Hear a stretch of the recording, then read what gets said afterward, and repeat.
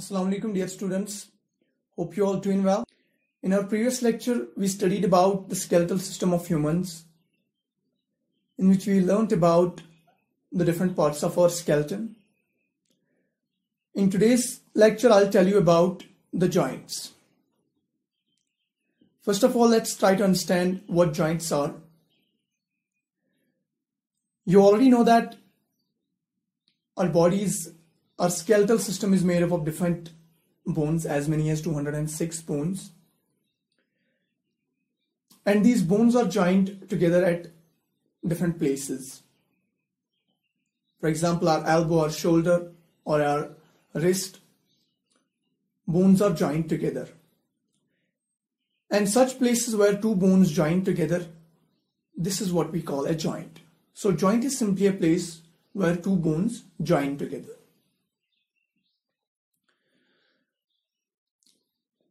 These bones are actually joined by specific connective tissues which are called as ligaments. Like here you can see in the picture this is the ligament. So ligaments actually these are specific connective tissues which are tough and flexible and they join together two bones. Apart from this ligament, there's in the material which is called as cartilage, which is present which is present at the ends of the bones. Like here you can see this is the cartilage. This is the cartilage. This cartilage this is also a tough and elastic tissue and it reduces the friction between the two bones during movement. Apart from reducing the uh, friction and being a part of this, uh, these joints, these cartilages are present at different places in our body like our ear or nose. Again, this is also tough and flexible. You, uh, it's elastic. You can actually compress your ear or you can stretch it. So this is what we mean by elastic tissue. So joints are actually those places where two bones join.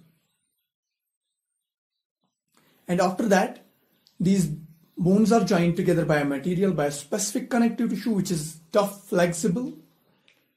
And these tissues are called as ligaments. After that, at the ends of the bones, there's another tough and elastic tissue which is called as cartilage and which reduces the fr friction between the two bones while movement. So this was about joints. Now let's talk about different types of joints. First one is immovable joint. Immovable joint is simply that joint or those joints which do not allow any movement. For example, when we talk about our skull, I already told you in our previous lecture that except the lower jaw, all other bones in our skull are immovable. That means we cannot move these bones. Like here you can see,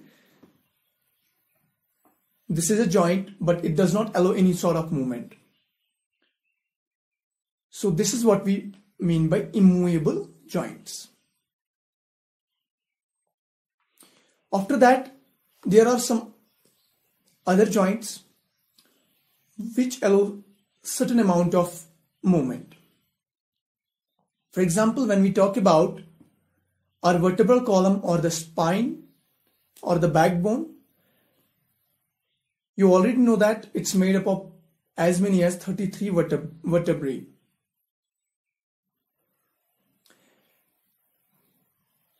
And when we talk about these vertebrae, these are also joined together. So there is a joint between every adjacent on this uh, vertebrae. And these vertebrae are slightly movable joints. That means they allow very little amount of movement. So this is what we mean by immovable joints and slightly movable joints. Immovable joints, they do not allow any sort of movement, while in slightly movable joints, they allow certain uh, some amount of movement. Another type, another type of joints is freely movable joint. Freely movable joints. These are freely movable and they allow movement of the bones in different directions. And these freely movable joints are further divided into four different types. We have four types of freely movable joints. First one is ball and socket joint. Ball and socket joint. In this type, in these type of joints, one bone is ball shaped while other forms a cup shaped socket. Like here you can see in the picture, this is the picture of our shoulder and this is the humerus bone. This is the humerus, this one, this is the humerus. And here you can see it has a ball-like structure. This is a ball-like structure. While as the scapula this very particular bone this very particular bone it has formed a cup shaped structure. So this is what we mean by ball and socket joint. One bone is ball shaped while other is socket shaped or cup shaped this ball fits in that very particular cup shaped structure of the other bone and it allows movement in every direction. It allows movement in every direction. For example, our shoulder, we can move our shoulder in every direction. And our hip, we can also move our hip in every direction. so this is what we mean by ball and socket joint.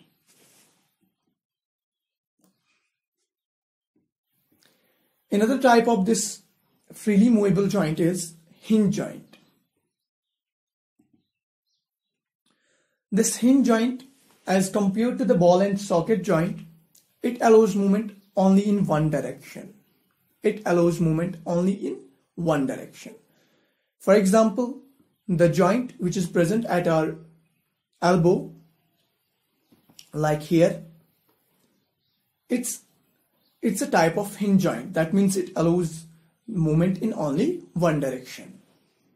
We cannot, we, we can just move our elbow upwards or downwards, but not towards our right or left. When we move our this, uh, when we try to move it, we are actually moving our shoulder and not this very particular elbow.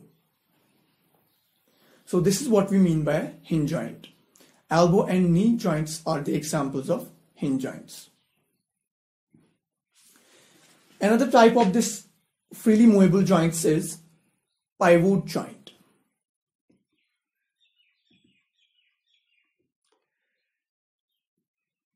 This joint is present at our neck. That means where the head and the backbone joins, that very particular joint is actually pivot type.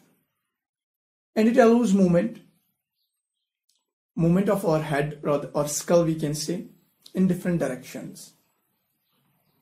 We can move our head forward or backward, we can turn it towards our right or left so this is what we mean by pivot joint.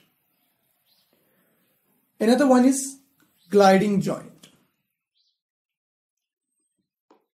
This is present in our this ankle.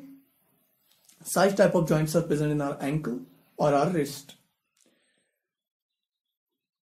In, the, in this very particular type of joint, that's gliding joint, the two bones one bone glides over the other.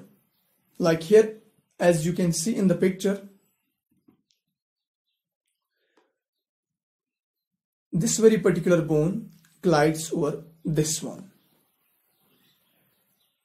And such type of joints, that's gliding joint, they also allow movement in almost every direction. Like you can move your wrist in almost every direction, but not as much as we can move our shoulder. So it allows slight movement in every direction. So this was all about the joints. We studied about different types of joints, immovable joints, slightly movable joints, and freely movable joints. And after that, we studied about freely movable joints. There are four types of freely movable joints. One is ball and socket joint, which allows direction in almost every direction. Hinge joint, which allows movement in only one direction. After that, pivot joint and gliding joint. So this was all about joints. Now let's take a look at our muscular system. When we talk about muscles, these muscles, as you can see, these are attached to our bones. These are attached to our bones. And these are also attached by a specific connective tissue which is called as tendon.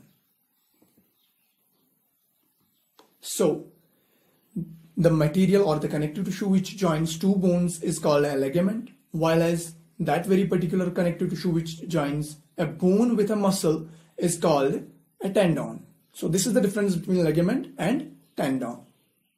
So tendons join muscles with the bones. Now what's the function of these muscles? These muscles actually, these, these help in the movement of our body.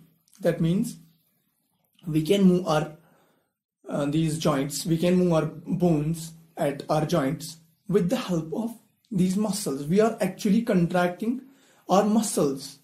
So this is what we mean by uh, it helps in the movement of body. That means these are we are actually moving our muscles which uh, ultimately move our bones. We can't move our bones directly. We move our bones with the help of our muscles. And these uh, muscles, these contract and relax. And while contraction, they move um, bones in one direction. While uh, when they relax, they move the mus- uh, these, these bones in different direction. There are different muscles for different types of movements. Certain uh, muscles which contract while others which relax. So this was about the muscular system. There are different number of muscles in our body. As we can say, there are as many as 800 muscles in our body. And this number actually varies from one individual to the other. So this was about muscular system. First we studied about joints and then muscular system. Hope you guys understood. So this was it for now. Thank you.